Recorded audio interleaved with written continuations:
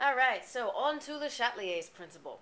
Le Chatelier's principle says that when a reaction is at equilibrium, and that's the key, the reaction has to be at equilibrium, so no more changes occurring in my concentration of reactants or products, no net change.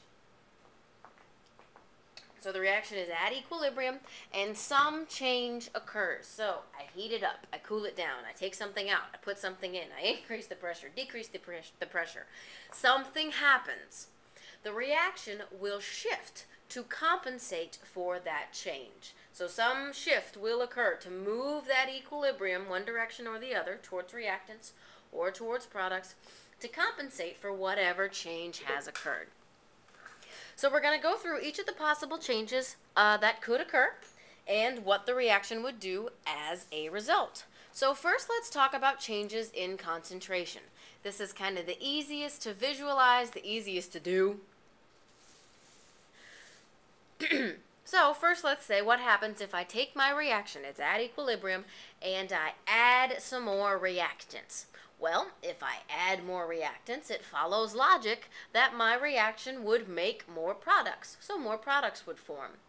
In chemistry ease, we say that the reaction shifts right. It shifts towards the products because we've added products, thus we've made more products. My reaction has shifted to compensate for this change. So I shifted away from products towards my reactants. The opposite, if reactants are removed. So I take out my reactants. My reaction is going to shift towards that hole to make more reactants, to fix that gap. So the reaction shifts left towards the reactants to compensate for that hole. Products follow the same pattern. So if products are added, we're going to shift away from my products towards my reactants. If products are removed, my reaction is going to shift to compensate for that hole. We'll shift towards the products. So, for example, excuse me, I got all this allergy nonsense going on. Let's say I have this reaction, and these are all in gaseous form. So hydrogen gas reacts with chlorine gas to produce hydrochloric acid in gaseous form. excuse me while I get a drink of water. If I were to remove my HCl, to take some of this out, my reaction is going to shift towards that hole, towards this gap here. We're going to make more reactants. So my reaction shifts.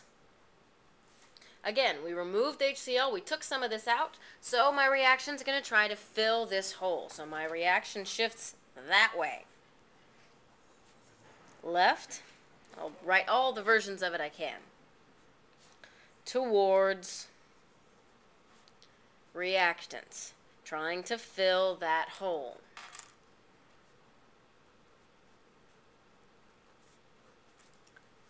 On our next one there, it asks us what would happen if we removed HCl. That's a product over here. So again, I'm creating a hole. So my reaction is going to shift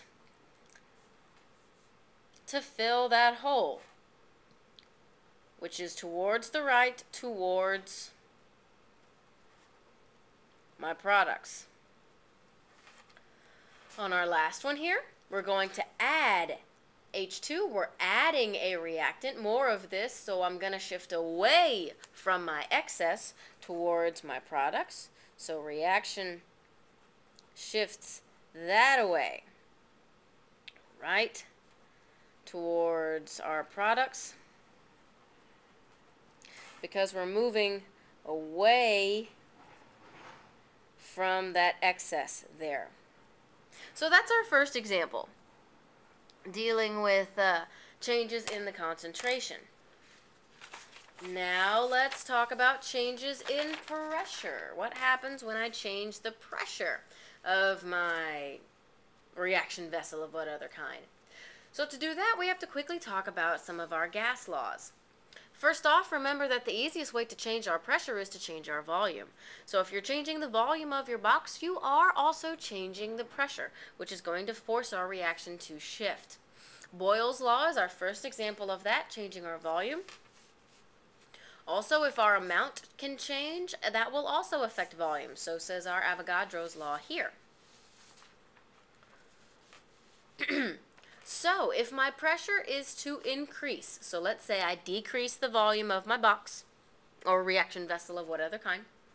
If I increase my pressure, my reaction is going to shift to whichever side of my reaction, reactants or products, that has less. So look at the moles created.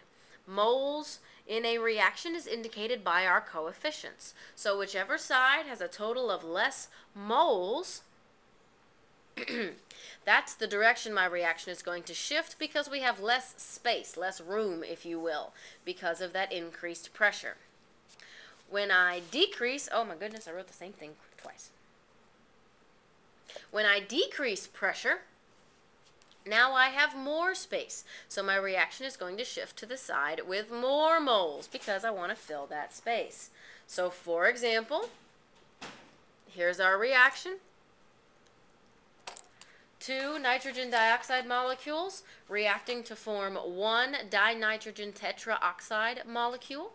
If I were to increase my pressure, so I have decreased space, if you will, for those molecules to bounce around, if you look at the left side of my reaction, I have two moles of gas, as indicated by my 2 here. On the right, I have one mole of gas. So my reaction is going to shift to the side that has left, to the right,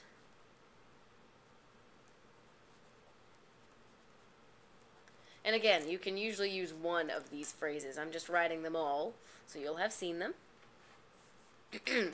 Why? Because there's less moles on this right-hand side. On the flip side, if I were to decrease pressure, that means my particles have more space to bounce around. So my reaction shifts towards the sides with more, which is my reactants side which is to the left.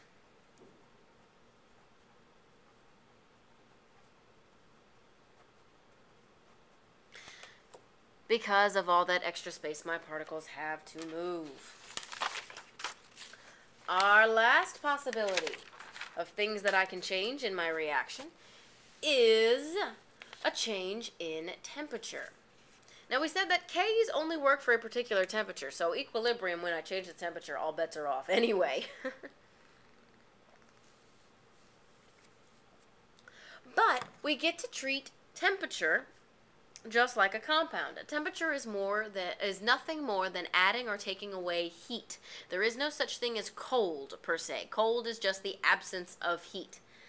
So if we treat heat like any of our other reactants or products, that makes this a lot easier. So think of excess or exothermic reactions, reactions that give off heat. Think of heat as a product. So you can actually write the word heat on the product side of your reaction. Endothermic reactions take in heat. They need heat to work. So heat is a reactant, actually appears on that reactant's side. So, for example, if I take water and I split it into its component gases, it is an exothermic reaction, so I've written heat over here as a product. So this now will follow the same rules as the first change that we talked about, changes in concentration. If I add heat, I'm adding a product. My reaction will shift away from the excess this way. So my reaction shifts to the left away from that excess. This one I phrased slightly differently. I said that the temperature was decreased. Well, decreasing temperature is nothing, more, nothing more than removing heat. So again, heat is present over here as a product. So if I'm removing heat, my reaction will shift towards the hole.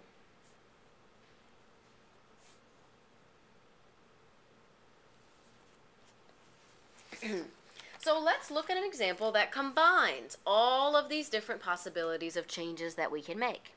This is a combustion reaction, reacting methane with oxygen gas to produce carbon dioxide and water, and this is an exothermic reaction, so there's heat as my product. First possibility, we add methane. Here's methane. Over on the left-hand side, it is a reactant.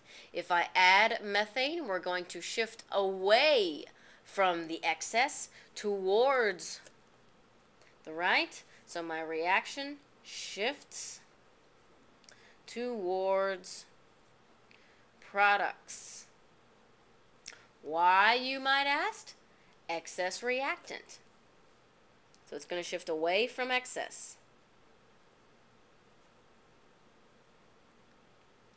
To use up that excess reactant we have put in. Next possibility, pressure is increased. Remember, pressure deals with total moles of gas on each side. Well, let's see how many we've got. One mole of this, two moles of that. We've got three moles of gas on the right, or on the left, excuse me, on this side.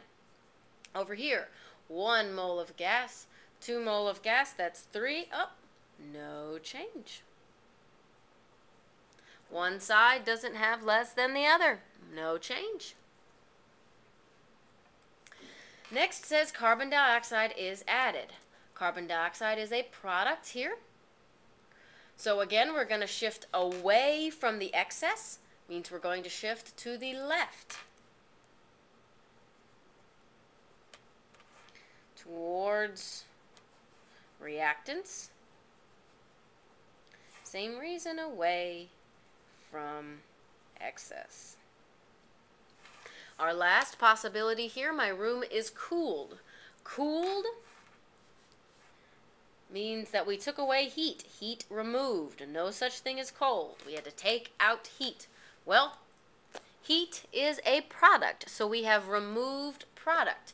So my reaction is going to shift towards the hole. We're going to try to fill the hole. So reaction shifts to the right towards products and we're filling that hole. We're filling that empty space. Well, I hope that gives you kind of an introduction to Le Chatelier's and how reactions can shift based on a change made after that equation has reached equilibrium. Next, we'll be coming up on ice tables, trying to predict equilibrium or initial concentrations based on previously known knowledge. See you then.